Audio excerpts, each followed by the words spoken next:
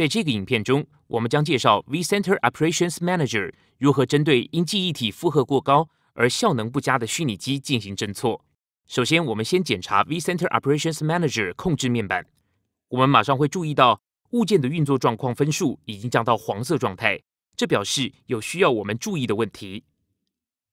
工作负载分数衡量出主机运作十分吃力，并明确指向记忆体问题。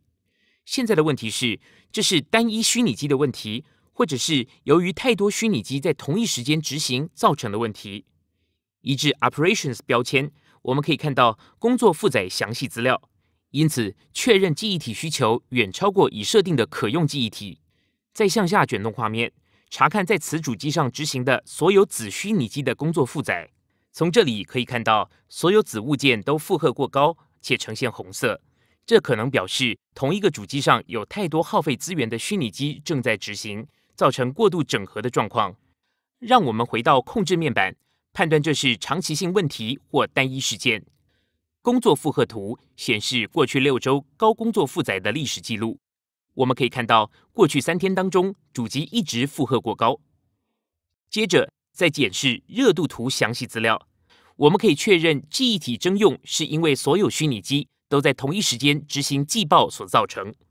如果我们深入检视其中一个虚拟机，可以发现由于部件压力的关系，虚拟机记忆体使用权限小于已设定的记忆体。如果我们按一下 Anomalous 标章，就会看到目前的分数指向一系列行为异常的记忆体指标。您可以看到虚拟机记忆体使用率下降的同时，正在进行记忆体交换，这表示主机过度部件。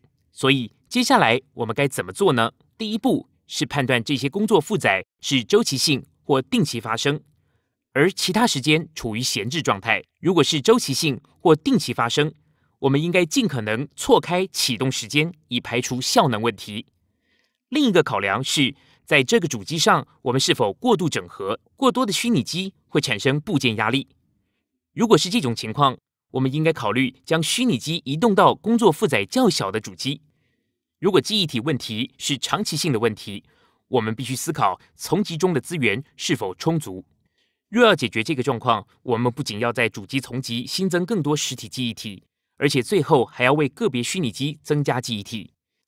在此案例中，您可以看到 vCenter Operations Manager 如何使用即时效能、容量和组态资讯来诊断效能问题。